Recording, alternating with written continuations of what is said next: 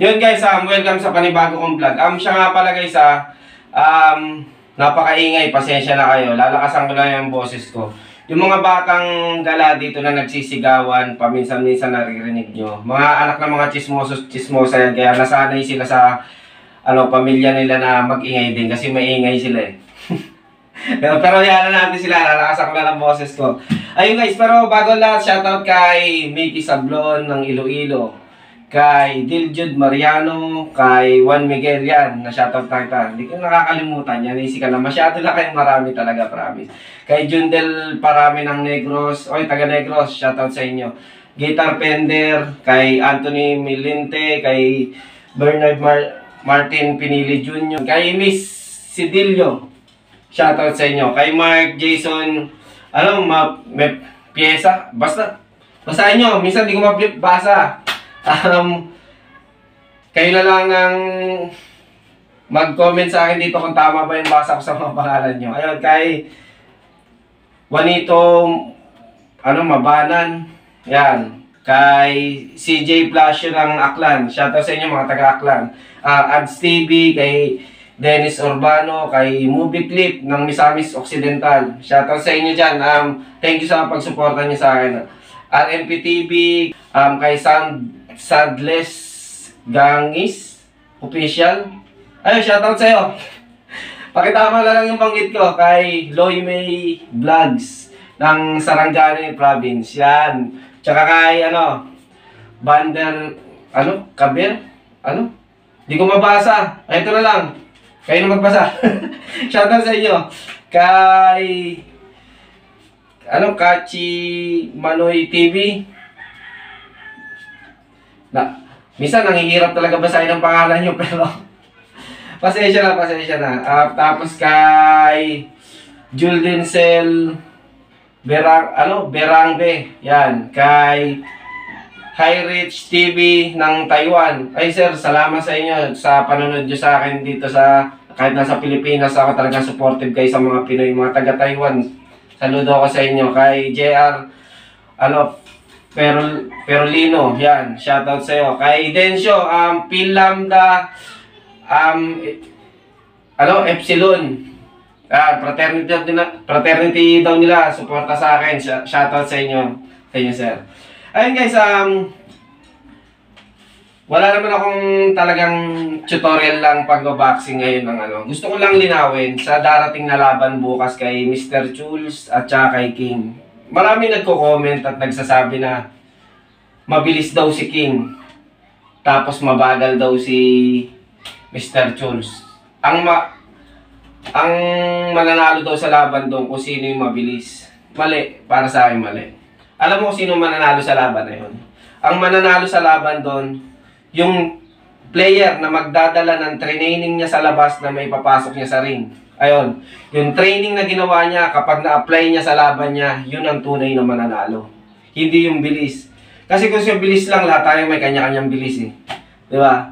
Pero yung training mo na panlaban, na nasa harapan ka ng gera, na nasa digmaan ka, na mga damit mo na, prinactice mo ng mahabang panahon, maraming beses, prinactice mo, tapos nadala mo dun sa laban, yun ang tunay na mananalo.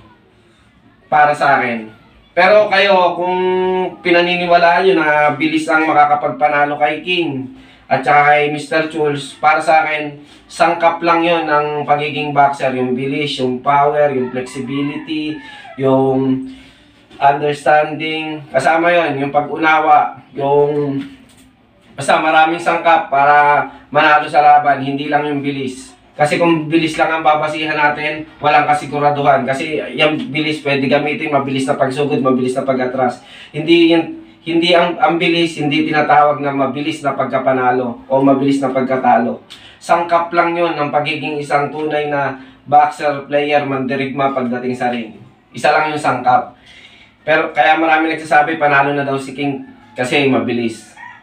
Sa akin. Ang sa akin lang, kung sino makakapagdala ng training nila sa labas na may magagamit nila sa laban, yun ang tunay na mananalo. Okay? Um, siya nga pala itong tao na to talaga. Natatawa na lang ako sa kanya.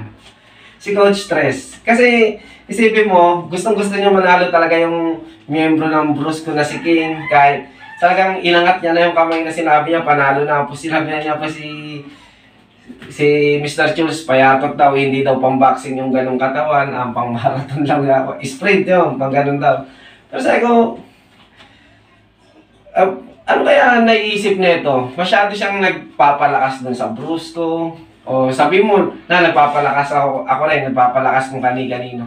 Pero grabe ka naman na masyado mo naman minaliit yung tao. Huwag mo maliitin masyado yung tao. Ako nga nagbibigay ako ng kabilang advice eh. Kasi dapat maging patas lang tayo. Pero kasi may payatot, magkakakain ka, kumain ka ng gulay. Minsan natatawa talaga ako sa'yo. Ewan ko kung kung anong content yung naiisip mo, kung pambabash ba, pangiinis, pang, o mabuting tao. Kasi nagsusorry ka naman, aminado kang nagkamali ka, tapos aminado ka rin na nalalait ka. Ewan ko kung saan San ka ba dun sa dalawang yun? Pero, palitan mo na yung content mo. Mas magaling ka maging komedyante. Hindi, totoo lang. Isipin mo, di ba? Hindi ikaw yung kalaban, sila yung maglalaban. Imbis na i-advise mo kung anong magandang magawa nila sa laban, in-advise mo, kumain ng gulay, mag-marathon ka na lang, mag-sprint ka, yung ano, takbo. Yan. Ang ganda, ang ganda ng mga suggest mo. Malaking tulong yung para sa nila. Pero, kung kasi magbago ka na, pre, sigurado ako pag nagbago ka, sandamakmak yung lalapit sa yung mga magsusubscribe. Kasi okay naman yung content mo eh, nakakatawa ka. Um, ewan ko, ewan ko, basta nakakatawa ka yun. Palitan mo yung content mo, maging komedyante ka na lang. Baka dumami pa yung subscriber mo lalo. Ako nga, ano eh, um, halos 8,000 pa lang subscriber ko, mas malaki pa yung subscriber mo kaysa sa akin eh. Ah, pero ako, ginagawa ko lang yung content ko sa sa alam kong tama. Sa'yo kasi nalilito ka kung anong content ba mo, kung may kakampihan ka wala eh. Kung mangiinis ka ba o hindi, magpapatawa ka ba o ano. Tapos tinawag mo pa si Higo Matos na ano, na kalbong masamang tao. Yan. Talagang sobrang natatawa ako sa vlog mo, hindi ako naiinis, totoo lang. Natatawa ako sa mga pinagsasabi mo. Pero saludo ako sa isa ha, magaling ka komedyante. Pero sa susunod sana, pag nag-comment ka, maging batas na lang. Turo ka dito, turo ka dito. Hindi yung pakakainin mo lang gulay. Hindi mo nga alam, puro gulay na kinakain mo pagdating sa probinsya eh. Di ba? Maraming gulay dun sa kanila, sa probinsya, tapos pakakainin mo pa ng gulay. Si King, sabihan mo kumain ng gulay, malamang kinakain niya, puro karne, manok, mga beef steak, um, kung ano-ano pang mga special na pagkain na may mga salad-salad pa, di ba? Matatamis.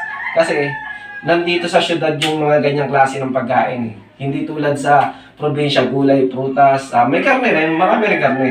Pero hindi naman tulad dito na maraming matatamis pagdating sa ano sa dito sa Maynila. Ayun guys, um, kay Coach Stress, um, bago na. Nakakatawa, natatawa talaga ako sa iyo, promise. Ayun guys, um, Naglabas pala ako ng kung paano bumitaw ng jump para sa mga beginner. Um, ayun, nandun na sa ano, short beta ko sa may yung mixing video lang. Um, yung pag-aralan nyo, sa nag-request sa akin, um, panoorin mo yun. Um, basta, simula sa paa, paangat sa kamay, hanggang sa bumitaw. Dahan-dahan, i-slow mo mo. Makikita mo naman yung pag i-slow mo mo kung paano binibitaw siya ng maayos. Kasi dito sa nag-request sa akin ng video, video guys, um, gusto niya gayahin yung ano ko, kung paano ako bumitaw jump. Ayun, thank you sa'yo, thank you sa'yo at ina-idol mo ako. Um, siya nga pala, yung follow nyo sa Facebook, nandito sa ano sa description, yung link ng Facebook ko. Um, follow nyo ako guys. Um, siya nga pala, Sabado, bukas ba? Sabado. Um, nasa C6 ako, magja-jogging ako. Sa malalapit dyan, kita-kita tayo sa C6 ha. Okay, bukas, mga alas 5, alas 5 ng umaga. Ising na tayo. Um, may nakalimutan pa ba ako? Ah, sa mga kaibigan ko sa Makati, kaibigan, kaibigan ko dito sa mga sa Facebook. Um, wait lang kayo. Ilalabas ko na yung vlog ko kasi sikreto tong channel ko, hindi pa nila alam to. Ngayon, uh, magbablog na ako, bala ko na i-share tong channel ko sa lahat ng mga kaibigan ko. Kasi pili lang ang nakakaalam niya itong pagbablog ko na to. Ayun, um, sa lahat ng sumusuporta sa akin, thank you, thank you sa inyo. Coach Stress, magbago na. Okay, thank you.